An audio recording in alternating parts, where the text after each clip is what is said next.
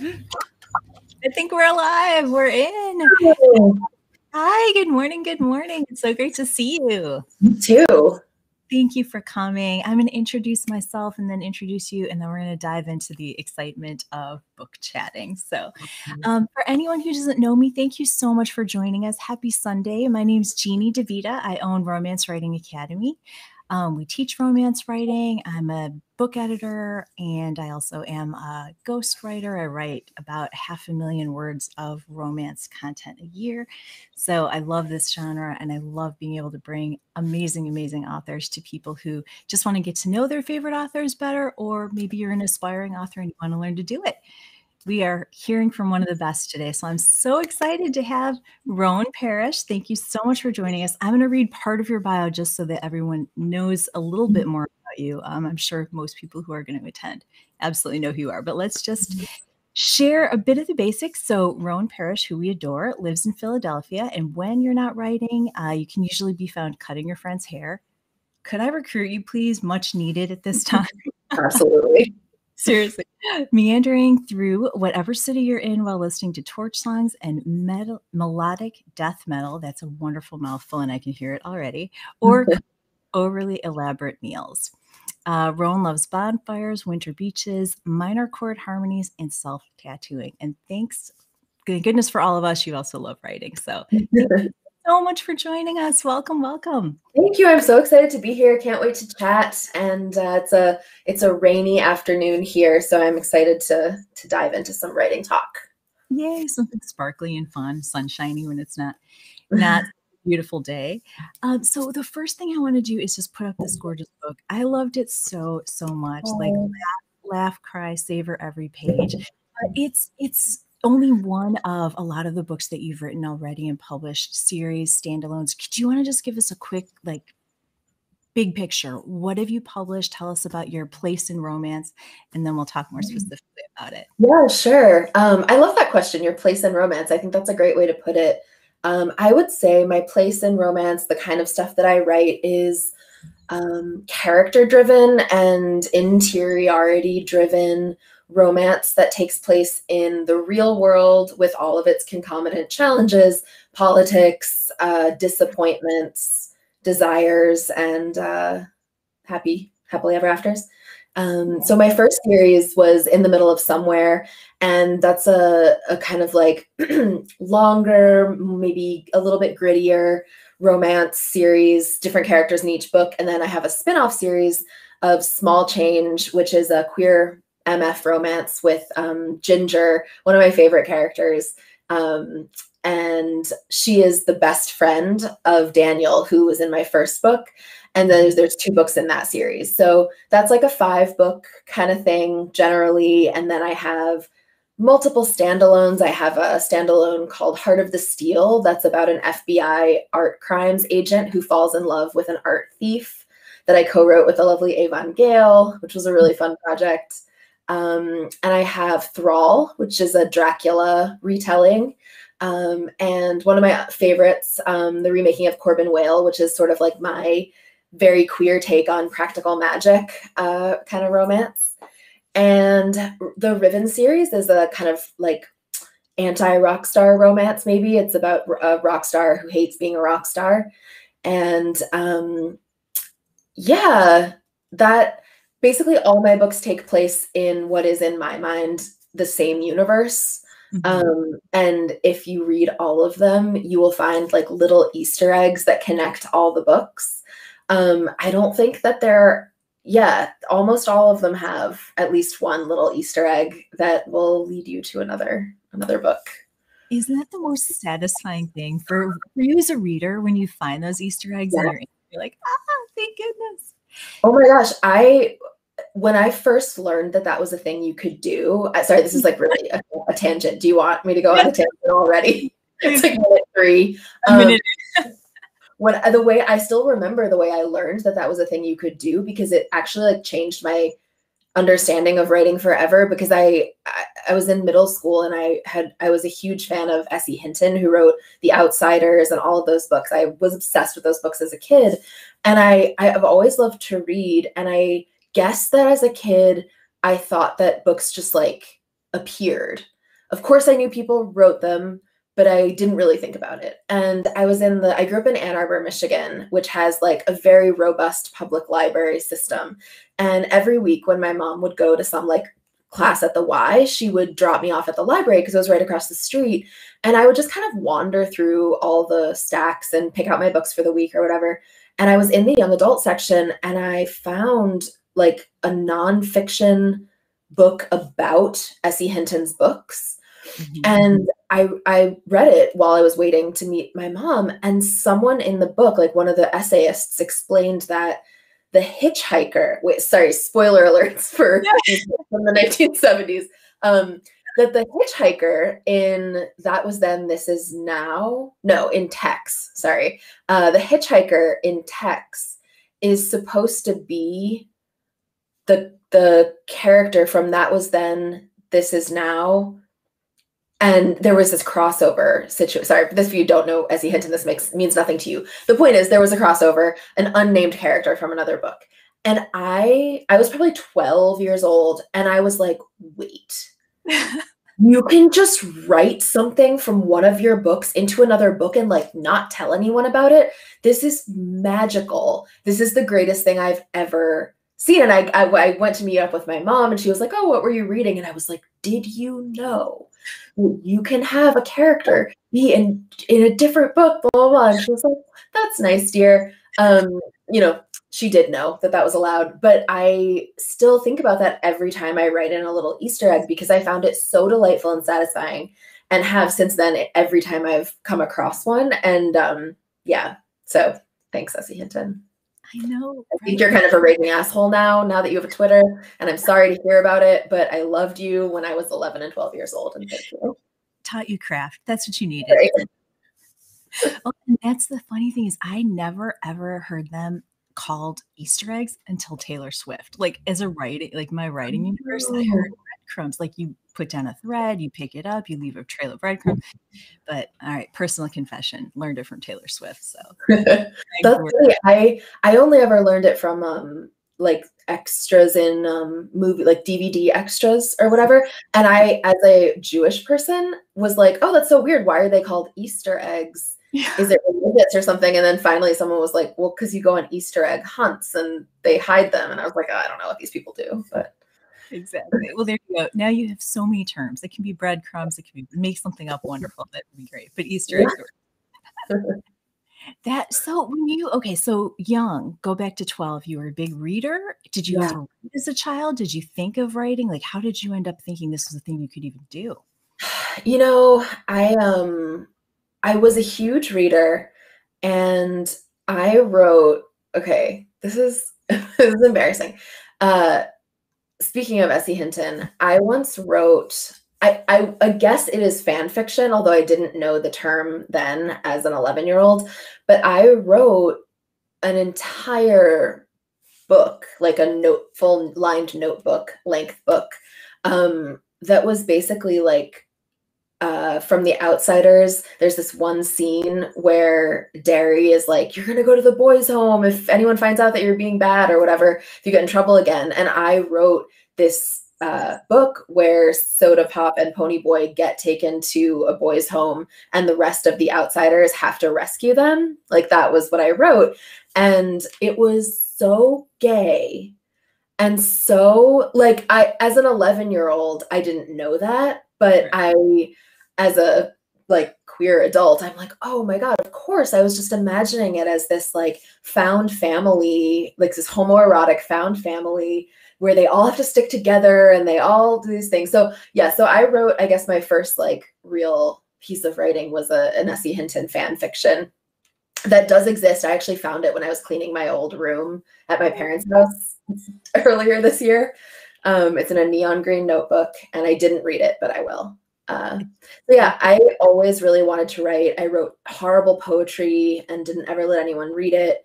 But as a kid, I it never occurred to me that I could be a writer. Like it didn't um it didn't occur to me that that could be a job or that that was something that was accessible.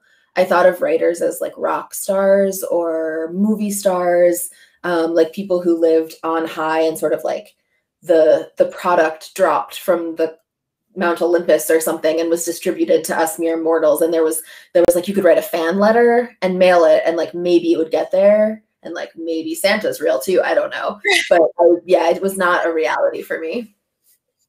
And so, what changed? How did you? I mean, so you have a neon green notebook with your first story in it. And by the way, I should mention anyone that has questions, please pop them into the chat. I can see them and we'll share them. So please feel free. So, how did you get from neon green notebook to doing it?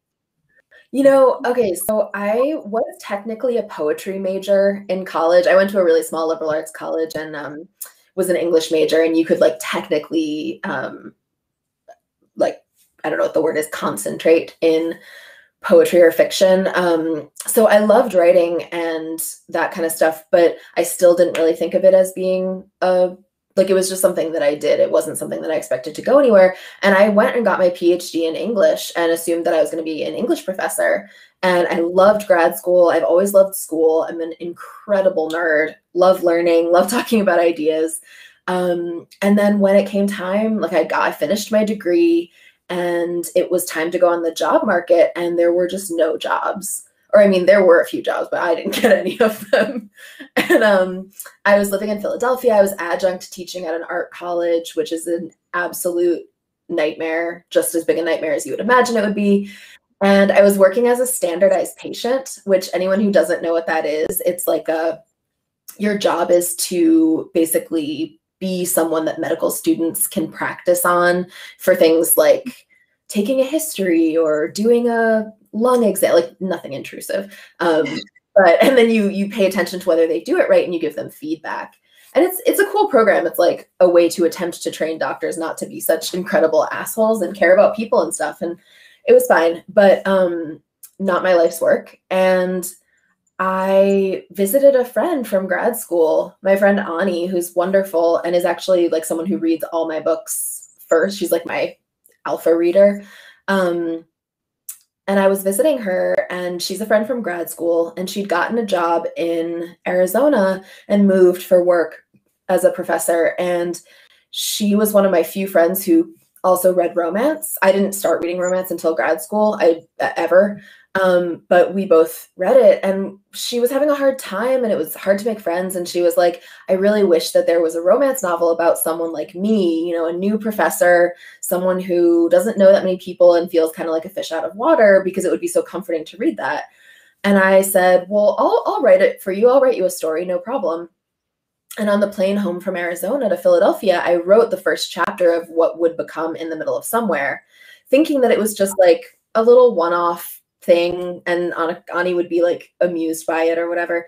And so when when I landed, I sent it to her thinking she would write back like, "Oh my god, you're such a nerd. I didn't think you'd really do it." But she wrote back and she was really into it. She was like, "I have to know what happens to Daniel. Tell me everything." And so then I wrote another chapter and I emailed it to her and she wrote back and was like, "Okay, this is what I think's going to happen, but what's really going to happen?" And in my head I was like, "Well, I don't know because this does not exist." Uh, and I basically wrote that book chapter by chapter, emailing it to her just for her. Um, and there were, speaking of Easter eggs, there were like little um, things that I thought she specifically would think were funny. She's a romanticist. And so some of the books that I mention, Daniel teaching, there's like a colleague who's a romanticist who's a total whack job. Um, and I just thought that she would get a kick out of it. And about halfway through, I was like, well, okay, this is getting long. I should figure out what's going to happen.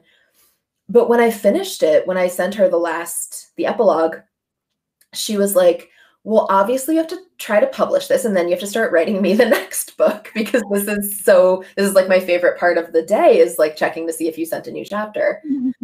it was so nice. I had never considered publishing it. I had never read romance before the last few years. And I, yeah, I sent it into a publisher and promptly forgot about it because I didn't ever think that anyone would want to publish it.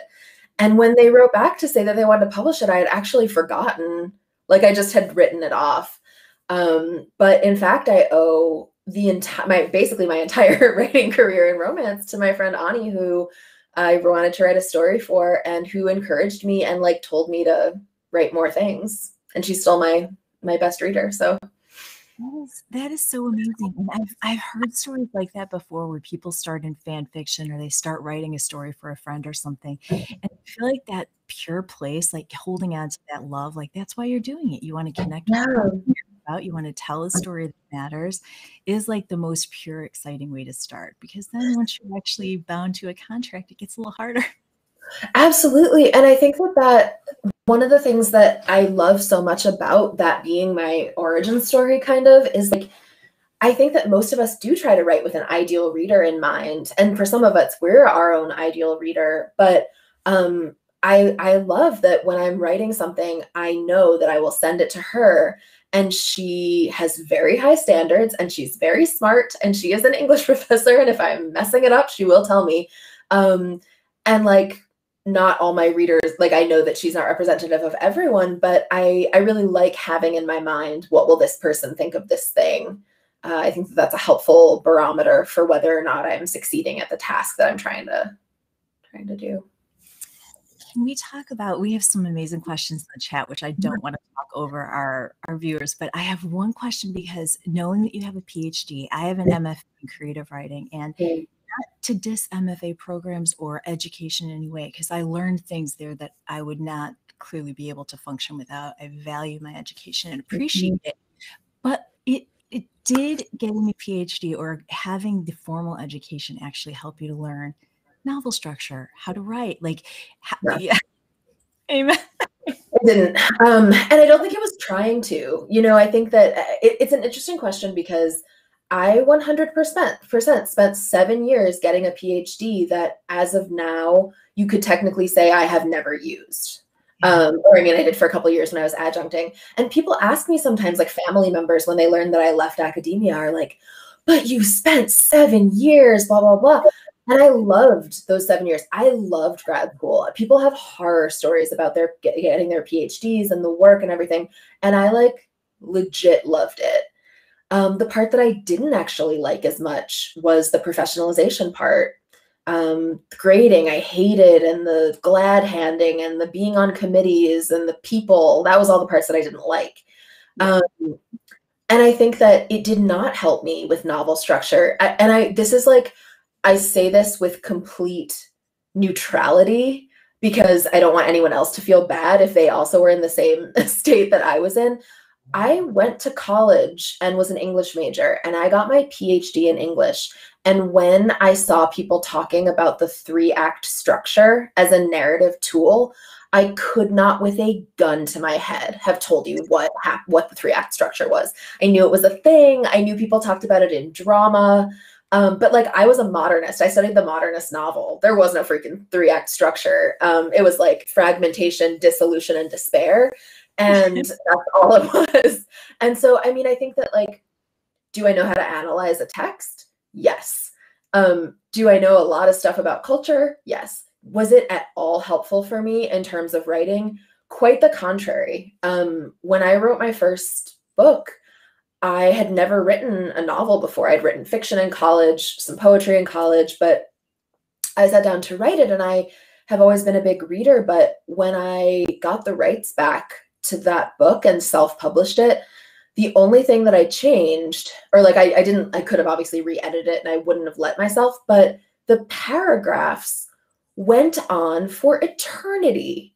Because academic paragraphs go on for eternity. And i i was like i didn't have a kindle when i wrote that book.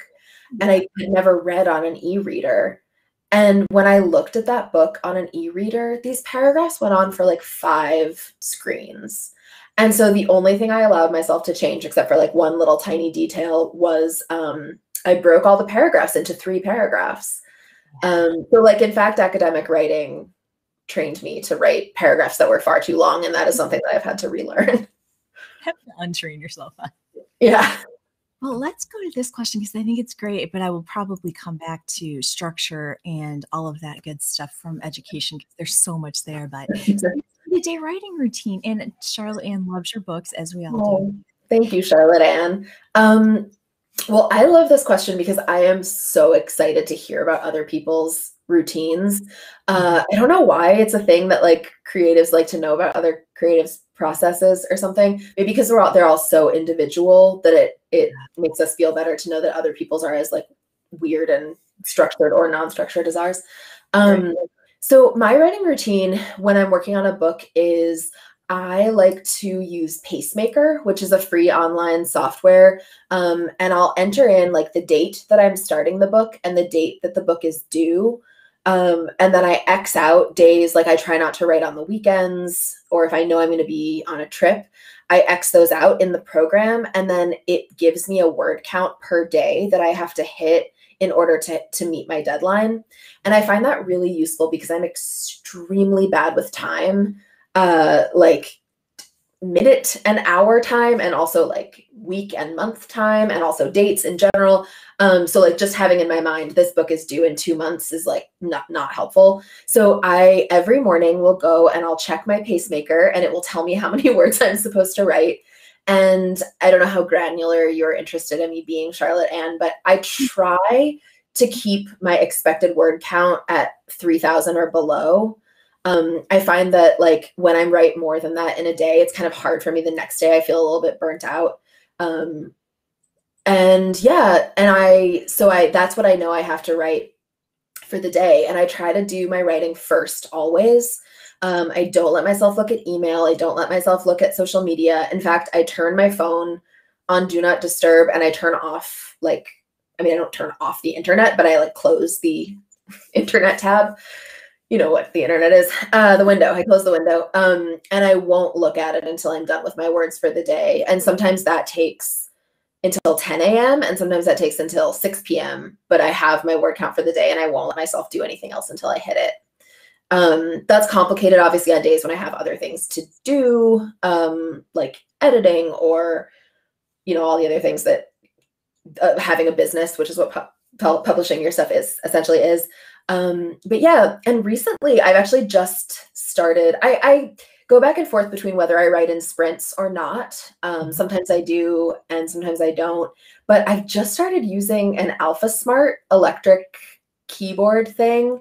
Oh uh, it's downstairs, or I would show it to you. But one of those, like, I never used this because maybe I'm too old. But apparently, they used to use them in schools to teach kids. It basically looks like a keyboard with like a little um, calculator window at the top and it has no internet or whatever. It's just a keyboard.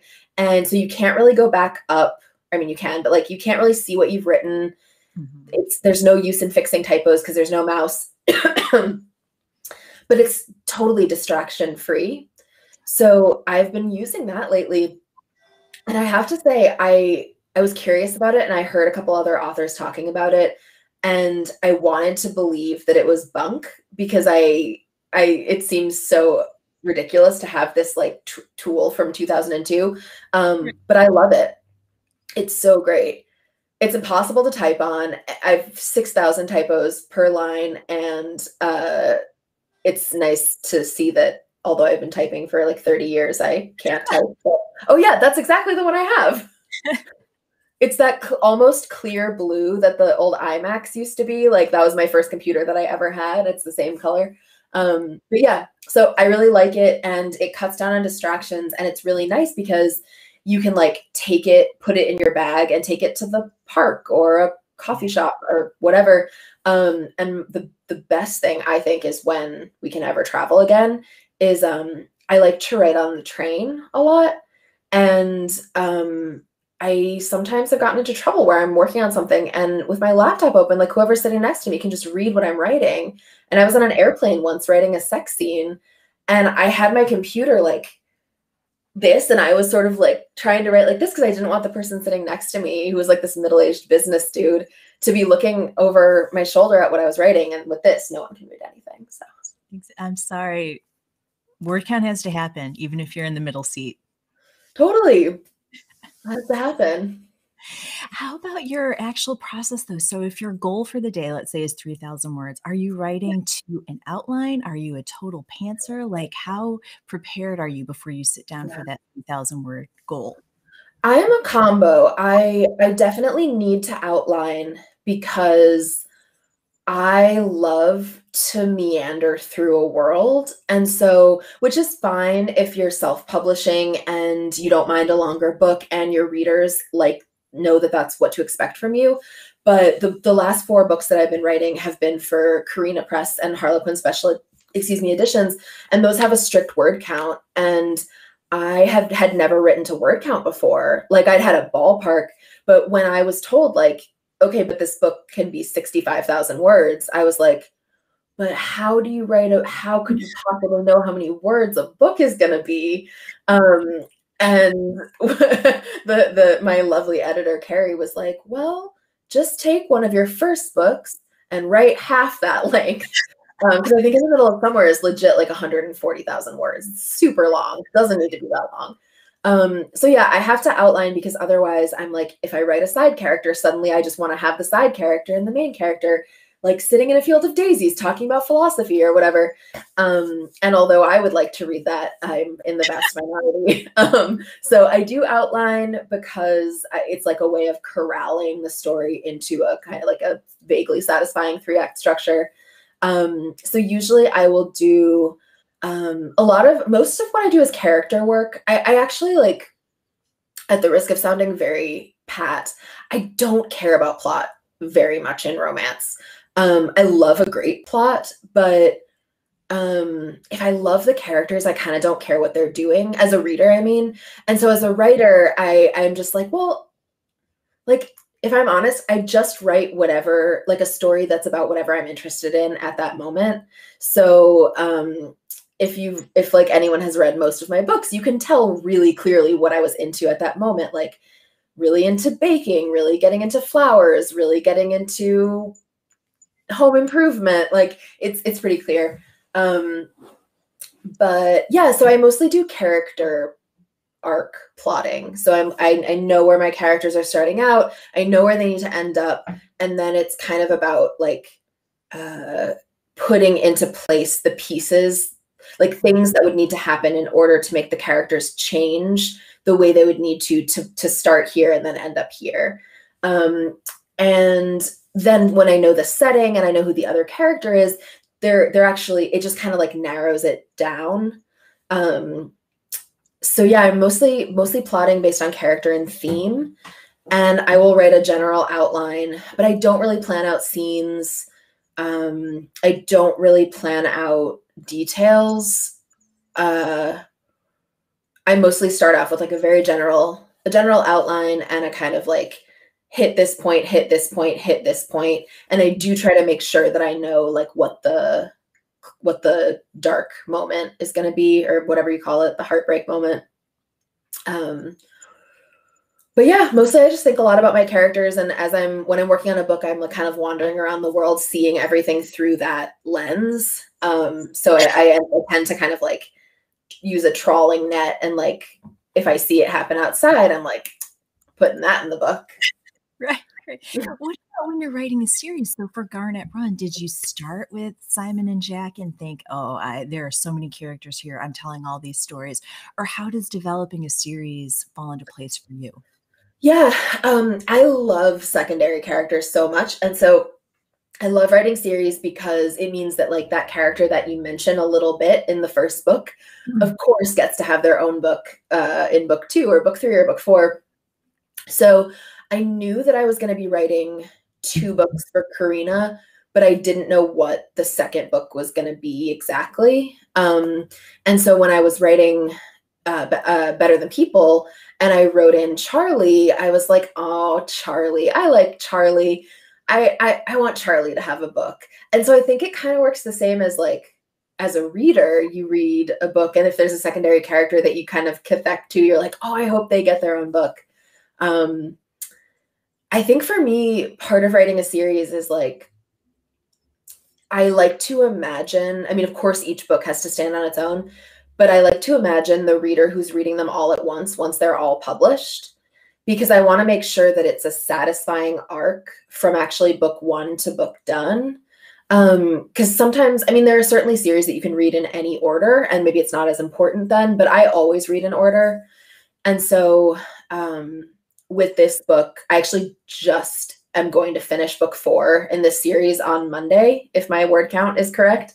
Um, and I've I thought hard about like I want to make sure that the end of the fourth book in this series is satisfying to the reader who doesn't actually even pick up book one until book four is out. And it's a little weird because books one and two are with Carina and books three and four are with special editions, but it's all one series. Um, but I want to make sure that that reader who's like been with the characters the entire time feels satisfied at the end of book four that like not just each individual book has had its arc, but that the series has actually had an arc as well. Because I think of a series as a character in and of itself, which is like you kind of have to grow as the series kind of has to grow. And there has to be some kind of question that resonates throughout the series that gets spoken to by the end of the series. Otherwise, like, couldn't those books just have stood on their own? Um, so, and I don't really plan that going in, to be honest. I just kind of like, it's just in the back of my mind and I hope it falls into place. And then if it doesn't, I try really hard in edits to make it fall into place.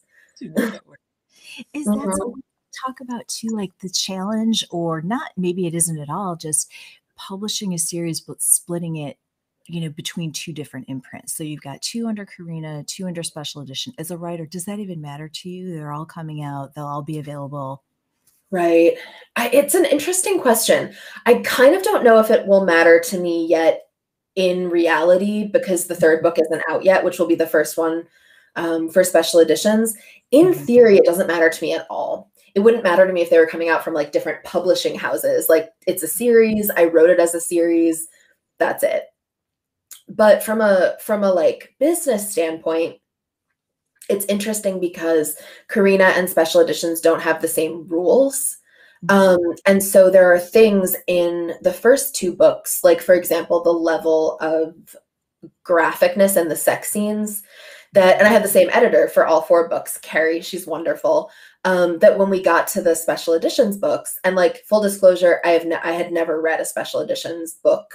I had never read a Harlequin book. Um, when I signed that contract, and so I did not know what those books were. Mm-hmm. And when I started writing the third book, I was like, "Hey, Carrie, just so you know." I actually think this book wants to be in first person, so I'm I'm doing this one in first person, even though books one and two are in third. And she wrote back and was like, Ooh, so glad you mentioned that because actually, special editions books are always in third person with an alternating POV.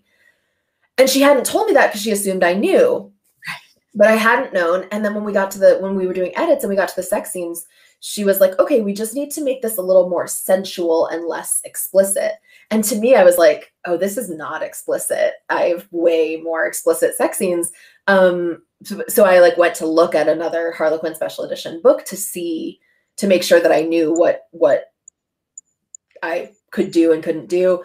Um, and I, I kind of think it doesn't matter in the end, but definitely there are like you can't really swear in special editions books much, or you can get away with a couple.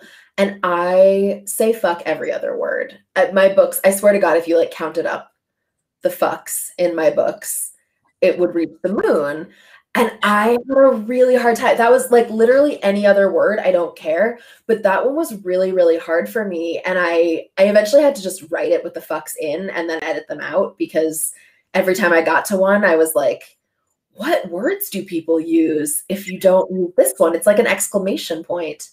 Um anyway, so so like from a from a large from a business point, business perspective, what I think is interesting is that book three in the Garnet Run series, which will be the first special editions book, is the first queer book that Harlequin is putting out in one of their lines, which is really, really cool.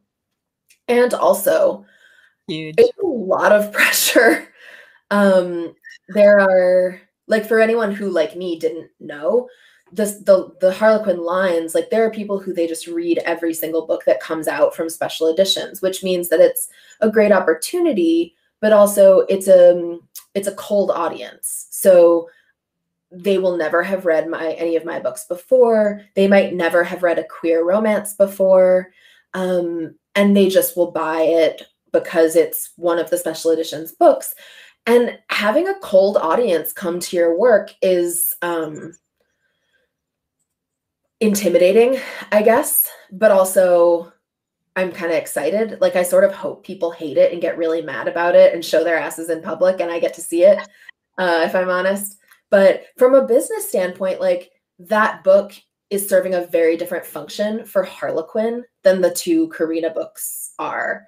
And this may be super boring for people who are not who don't like care about publishing, but um, they are packaging, they're essentially packaging a book for readers who might be actively hostile to it. And so we'll see. I mean, it is like a tame, it's a very sweet, like holiday book, which I love to write because as a like Jewish kid, I grew up like most Jewish kids, obsessed with Christmas. Um, maybe not like most Jewish kids, but uh, yeah, it's like a Christmas book. It's really sweet. And I'm just imagining like people might send hate mail about this like really sweet, soft book because it's gay. Um, so yeah, from a from a business standpoint, it makes a huge difference. Whereas me, when I was writing it, I was like, mm, I don't care.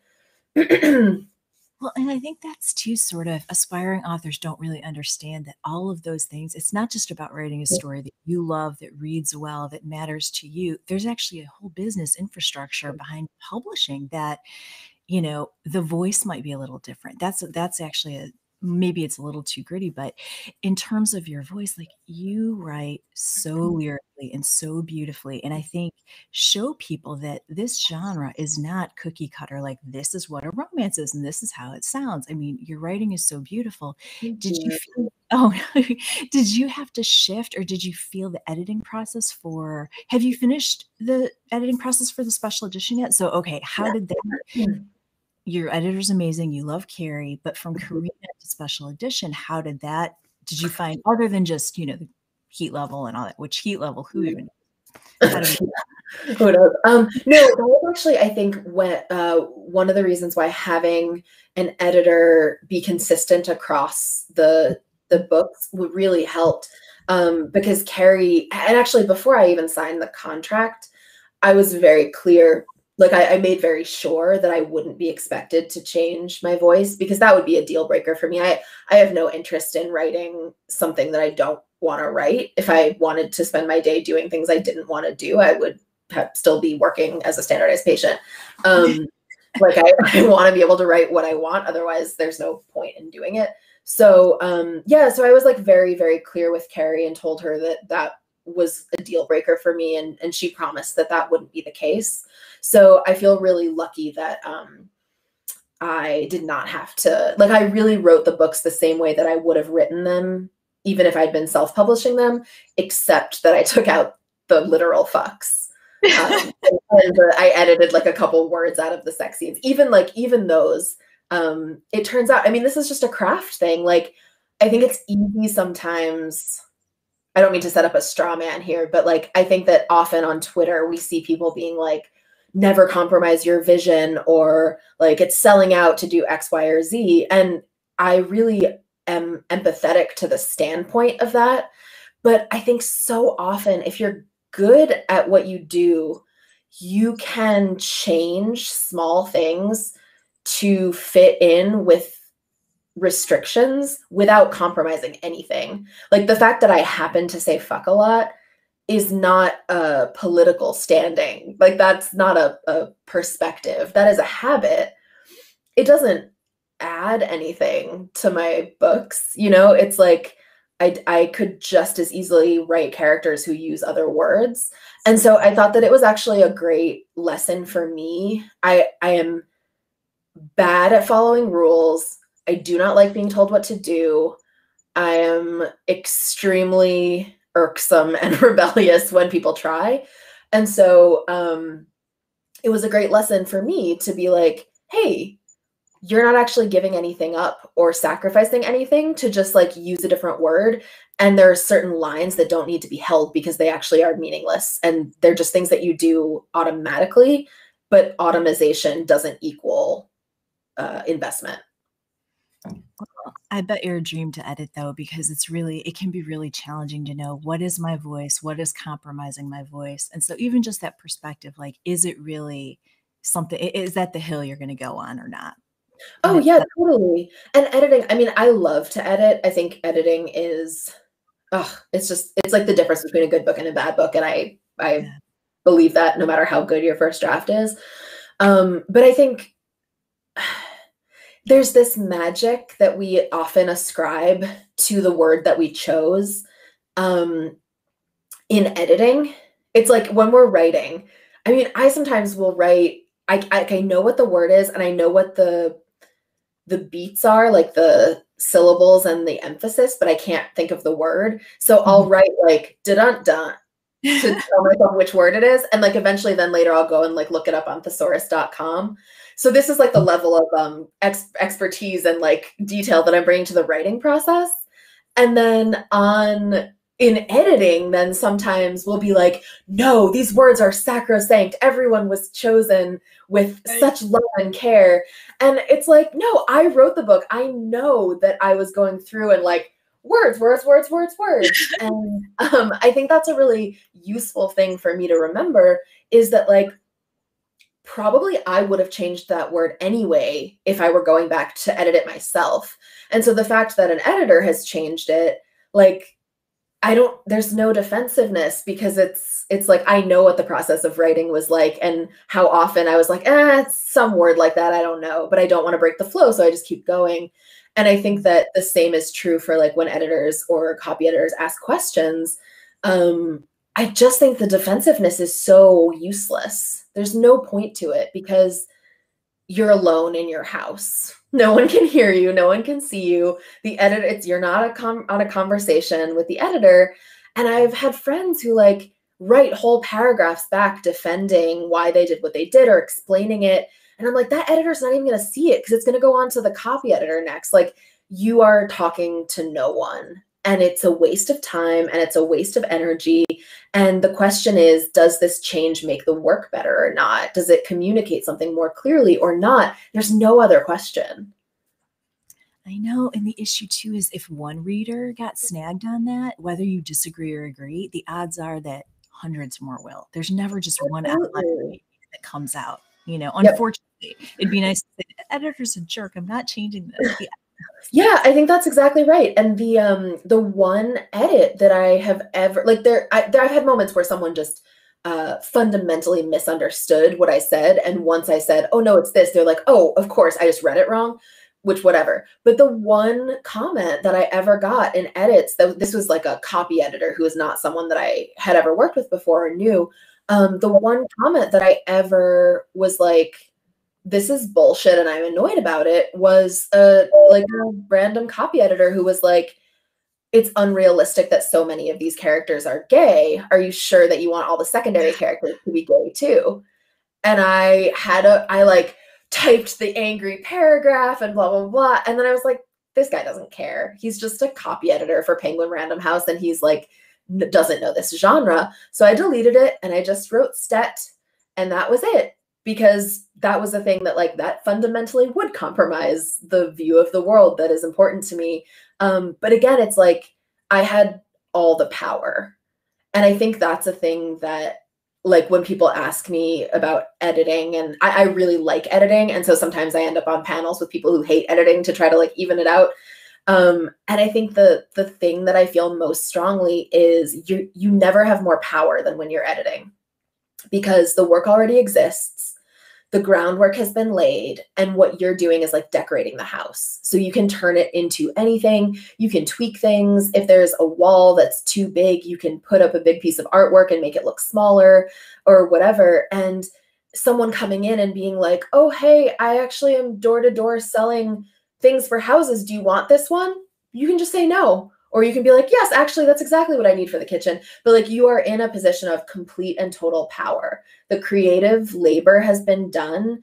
And now you are like polishing it up and making it shine beautifully. And nobody can do anything about it, really. Yeah.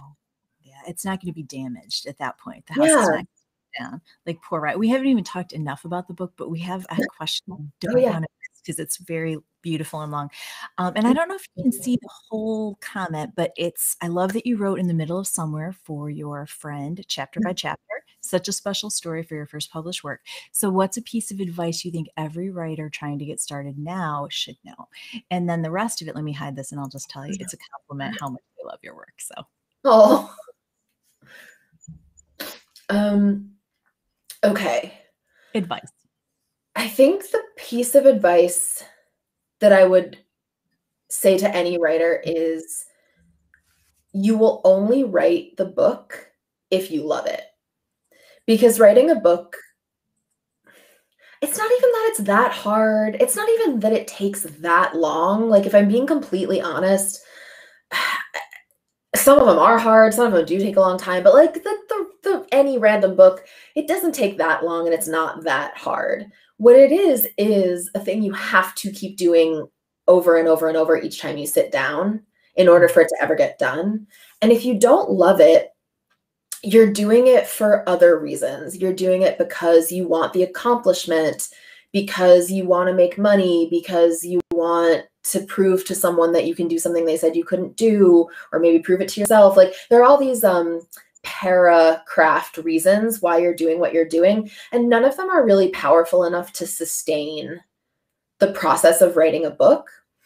Um, but the one thing that always will sustain it is love of the story that you're telling, falling in love with your characters, desperately wanting to find out what's going to happen to them, um, caring a lot that you're writing a story that you wish you could have read but never saw out there, writing something for someone else that you know that that they will love and will be meaningful to them.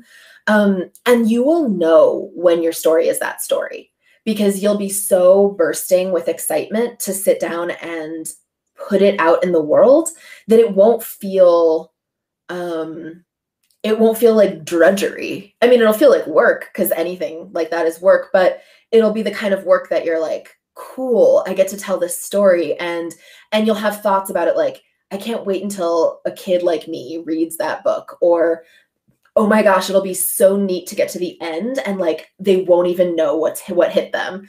Um and I think until you until you find that story, there's no point. I mean, writing is always great. It's great to practice. It's great to play around, but that's not the same thing as writing a writing a book. Um, so yeah, write something that you really love and are excited about because that's the only thing that's really enough to sustain the process until the end. Well, and I think that leads perfectly into this question. So, when you feel discouraged, do you do you deal with feelings of writer's block, you know, imposter syndrome, any of that, and how do you get out of your own head to actually do your three thousand words a day? Yeah, totally. I definitely deal with imposter syndrome. Um, I think I I tend to find that writer's block is can be broken down for me anyway into a couple of different diseases or like symptoms, whatever. Um, there's the kind of and I don't really think of them mostly as writer's block. There, there's like, what do I do when I wake up in the morning and I sit down to write and I'm just like, I don't feel like this today. I just don't want to. And on those days, if I have a grace period, like if I have enough time built into my draft, I take the day off. I don't do it. Because one of the things that I love so much about working for myself is that I get to do whatever I want did I mention I'm bad at following rules?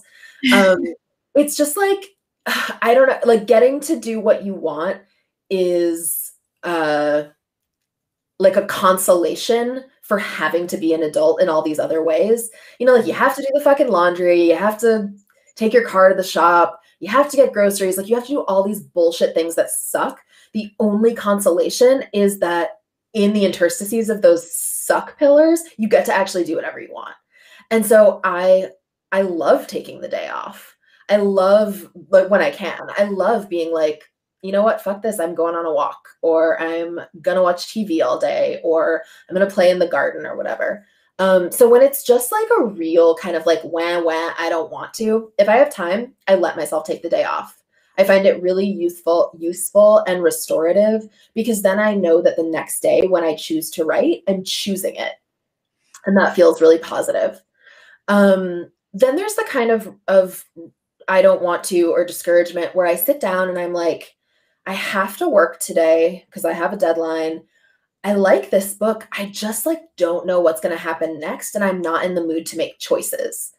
Um, one of the things that I think I I think about all the time, but I don't think gets talked about enough in in writing circles is that when you write fiction, what you do all day long or all through your writing process is make choices. Every single word is a choice. Every every setting, every outfit, everything is choices. And there's this thing, like legitimate thing called decision fatigue, which is that we only have the willpower to make so many choices in any one day.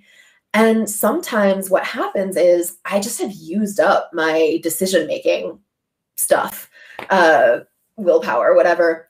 And on those days, I know that what I have to do is like go back to my outline and see what the path of least resistance is. So like if I don't know what's supposed to happen next, I know that I need just need to spend like a half an hour doing some some plotting. And so I'll go back to my outline and I'll be like just do it for 5 minutes. Just 5 minutes. And usually that's all it takes. Or by 5 minutes I'm like, "Oh, I've got the seed of an idea so that it, I do the the rest of the 15 minutes or 30 minutes or whatever." And usually it's just about being like, I'm here and I need to get here. I know A and I know C. So, like, what is the logical thing that is B? And then once I know that and I know what's supposed to happen, the writing is fun and fine. So, that's like the second one. Then the third one is I don't want to write because I hate this book. It's garbage. It is terrible. Why would I even bother writing it? Because no one will ever want to read it. And that is a really normal way to feel. I think I think anyone who's written more than one book also knows that like that feeling doesn't usually translate into any outcome. It's not like the books that you feel that way about end up being bad and the books you don't feel that way about end up being good. They all end up being whatever they end up being and some books you just feel that way about and some you don't. And for me, when I have that feeling, um, that's like part imposter syndrome and part I'm mailing it in. And I know in those moments that I don't like the book, that I'm just not trying hard enough. And like I, I wish I had better advice for like how to get over that one, but there isn't any really except try harder. Um and but it's it is like I think there's I have no problem with anyone sharing word counts on Twitter or being like, I just hit my blah, blah, blah words. I think that's great for some people and they love seeing um, other people's whatever. But I think that in the quanta, like in the fetishization of quantification, we often forget that like thinking for three hours is actually way more important than writing 3,000 words or whatever. Thinking for three hours will get you the next 50,000 words. Um, or like, there are some books that come really easily. Like, I wrote Riven. That's like the first draft. I barely edited that book at all. It just came out. It, it just like plopped out um, whereas uh, Small Change, I rewrote that book like six times. It just wasn't working, and and I and like I I just know that that is a thing that happens. Like some books come out kind of fully formed, some come out a mangled mess, and some are in between. And it doesn't really. It's it's it's inexplicable. Like I haven't noticed any pattern to predict it. Uh, it just happens. But in the moments when I'm kind of like, this book sucks and I don't want to, what I generally have to say to myself is, this is just a feeling, it'll pass. And all you can do is like dig back in and see why it's boring to you because it'll that'll make it boring for a reader too and just make it more interesting. That's the thing people don't like when you say you don't have time to write or you don't have time, like we have so much enforced psychological downtime. You know, you're doing the dishes, you're waiting in line, like that's all productive time where please pay attention on the road. But you know, your brain can be thinking, you can be thinking through like those options of if I'm stuck on a plot point, what are all the possibilities here? What would be great? What would be boring? And then you settle on something, like you said, when you sit down, the words come out. Mm-hmm.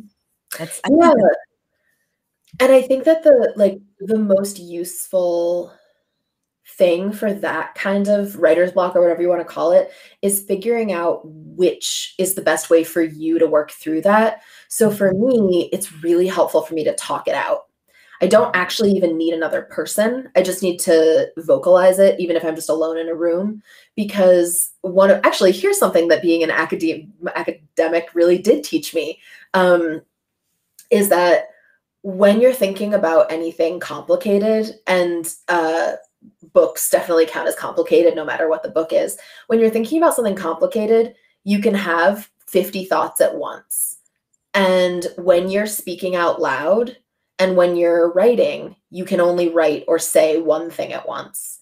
And so when you start from the tangled like spaghetti ball or yarn ball of your 50 thoughts at once and you try to translate that into writing it's expecting that you're going to pull the thread and the whole thing is going to effortlessly fall open and anyone who's ever eaten spaghetti or knitted knows that that's not what happens you pull it and the knot just gets tighter or you end up with a bite that's like the size of your own face on your fork and so i think for me like speaking it forces me to untangle what is actually like a, a ball of multiple thoughts at once because I can only say one thing at a time. And so if I tell myself the story out loud or like talk through it and say, okay, well, maybe what happens is that, um, I don't know, Rye gets eaten by a shark. Then I can be like, well, there are several logical problems with that. the biggest of which being that there is no body of water large enough for a shark in Wyoming. Okay, so maybe not that one. Um, and like obviously that's a ridiculous example but there are but usually i can like talk through it in a way that feels clarifying um that's different than just thinking. And speaking something out loud is way closer to writing. And so if i can say it out loud i can simplify it enough to the point that usually i can write it. And i don't mean simplify like dumb it down. I mean simplify like untangle. Um and whereas I know some other people like journaling is really good for them that way, or uh, going for a walk or whatever. So like whatever your thing is, and you won't know until you try multiple of them. Um, figuring out which is the best way for you to kind of like either untangle if you hit a snag or think of like produce ideas if you're kind of at a loss. Figuring out which one is most productive for you i think is a really really good tool because you're definitely going to hit that problem at some point in your career. That's so helpful. That and thinking about it that way, just the way your brain works is a really helpful way to articulate like all these choices and writer's can either be too many ideas, too few, or just not making that decision. All so yeah insightful and helpful. Oh good. Yeah. And the the making choices, I, I think that like at the end of the day, when I'm working on a book, I never can decide what to have for dinner because my decision has decision making has been used up whereas when i'm between books i'm like yes i'm to make and then it's like this elaborate meal. And it's such a clear it's so so evidentiary for me of the fact that like that work it might be fictional work but the your brain doesn't know the difference between a fictional and a non-fictional decision. And so sometimes like it's really great I, I like i repeat this because i think if that's not something that you're thinking about, it's really easy to be like, why? What's wrong with my brain? Like, why am I not able to think of these things or make choices? And there's nothing wrong with your brain. You just might have exhausted your ability to make choices that day or that week. Like, it's a finite resource, and creating fiction uses up a lot of it. I'm, I'm so glad you said that because it is tiring, it is work, even though hopefully it's coming from a place of joy and clearly i feel like we could talk i could talk to you for another two hours just about this book and about these books but I don't want to take up your whole Sunday. And I do want people to know you're so sweet. You're so wonderful. I do want people to know we are giving away um, a copy of these two books, Better Than People and Best Laid Plans. So feel free to enter if you'd like to enter to win those. We have some restrictions on eligibility, but not too much. You can read about it. Please do follow uh, Roan on social media. Sign up for the newsletter if you'd like. Uh, there's a free. Do you want to explain what they get when they sign up a new sign up? Oh, sure. Yeah, if you sign up for my newsletter, I have a very cute, I think it's cute, um, holiday romance story to give away called A Reluctant Santa, which is about um, a guy who has no interest whatsoever in Christmas, who suddenly starts receiving these mysterious packages to his apartment door and they all look like Christmas gifts. And he's like, what the hell? And he realizes that someone has put the wrong address on something. So he's receiving all of his neighbors' gifts and he keeps having to like deliver them up to his neighbor and spoiler alert they fall in love anyway, it's pretty cute that's amazing. You are amazing. It's been so wonderful and fun to spend the time with you. Really, thank you for giving up your time on Sunday. But I adore your writing, love this book. And when is the third one coming out? When is the special edition releasing? The third one is coming out in October, but I don't think we have an exact publication date yet. But if you do sign up for my newsletter, you will know the second that there's a release date. Um, and yeah, it comes out in October, which is, I guess, when holiday books come out. Um, so it is a holiday book and will be out in October. I'm bummed we have to wait till October, but between now and then, if people want more of you, more of your content, you're doing a podcast now too. Did you want to talk about yeah. that? Oh, sure. Yes. So I, I just started a podcast with uh, Xio Axelrod and Avery Flynn, who are two other romance writers.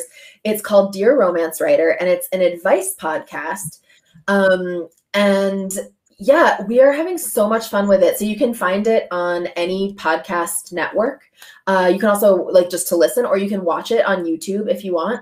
We have a website, which is dearromancewriter.com, where you can like read the show notes and get all of our recommendations for stuff. And on that website, there's also a form where you can send us a question totally anonymously. So if you if you need advice on anything to do with relationships, could be friendship or family doesn't have to be romantic. Um, yeah you can you can send them to us that way. And we are also on twitter and instagram and facebook and you can send us questions that way too. It is a blast. We would love to have you listen.